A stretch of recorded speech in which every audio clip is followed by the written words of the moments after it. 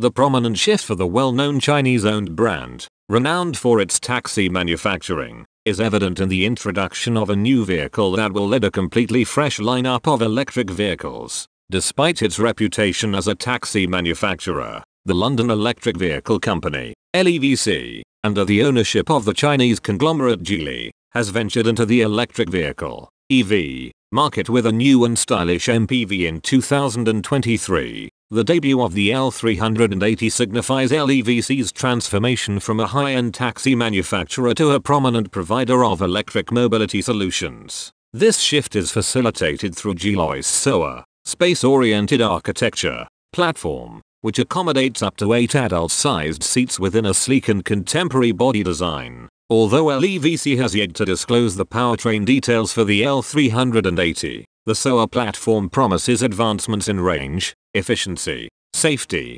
charging time, durability, and connectivity. Crucially, the L380, with a name reminiscent of an aircraft, offers a remarkable amount of interior space, available in configurations of 6 or 8 seats, thus promising to raise the bar for interior flexibility. Importantly, this enhancement pertains to the car itself, ensuring that occupants are not expected to perform any contortionist feats.